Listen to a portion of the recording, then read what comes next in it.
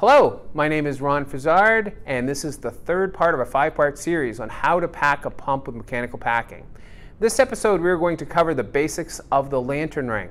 So let's get started. Lantern rings are one of the most confusing and misunderstood technologies in the pump industry today. The first thing to discuss is why one is needed in a pumping system. Today, with high-tech fibers and lubricants, there is no reason to use a flush for cooling or lubricating packing. The only reason to use a lantern ring with a flush is to keep solids out of the packing set. A clean flush without solids is used as a barrier fluid to keep solids from the pumping media embedding into the packing rings.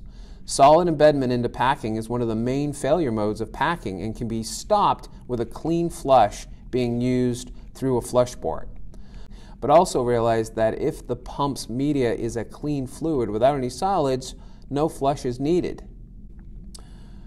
For barrier fluid to work, it needs to always have higher pressure than the stuffing box.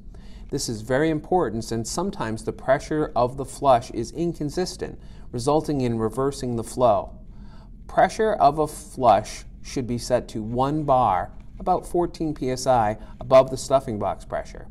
The flush pressure becomes the new pressure in the packing, so if the flush pressure is considerably higher than 1 bar over stuffing box pressure, more force will be used to create a seal in the packing, resulting in short, shorter packing life.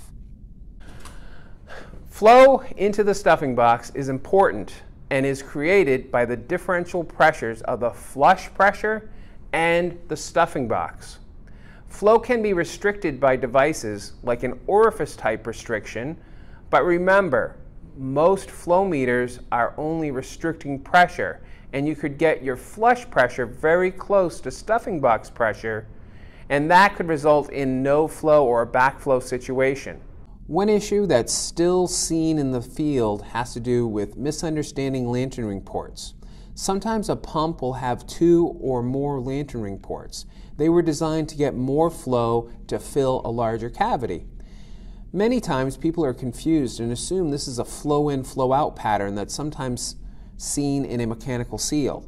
Flush in a pumped in a packed pump needs to be higher pressure on the lantern port in the stuffing box and have a lower port open to atmosphere does not allow pressure to build up and results in mixing of fluids and solids building up in the packing, exactly what we're trying to stop. Clean flush is also a point to discuss. Many times a flush will not be totally clean. This can result in, again, what we are trying to stop, getting solids embedded into the packing. If a pump has no access to a clean flush, sometimes it is better to go without any flush than with a dirty one.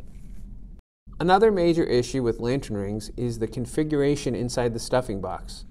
Many times there will be a set of packing below the lantern ring.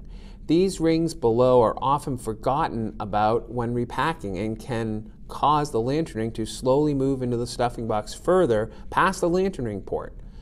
When this happens, flush water will spray out of the pump and at the same time is cut off, stopping solids embedment. Another major issue with these rings is that they do not provide any sealing but compress rapidly that results in many adjustments and quicker time before the gland bottoms out, drastically lowering packing life. There are new technologies that actually replace the bottom rings and ensure perfect lantern ring alignment and save time of removal. A bushing can be used but can cause turbulent flow resulting in mixing of fluids and migration of solids into the packing. EnviroSeal SpiralTrac technology fills the area and also has a built-in lantern port that creates laminar flow in the direction of the shaft rotation. This plus its outer spiral makes for a dramatic, drastic reduction in solid embedment and longer packing life.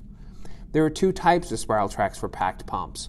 One is the type P that does not lower flush water unless a restriction device is installed on the flush, and the second is the first that has a built-in flush restriction.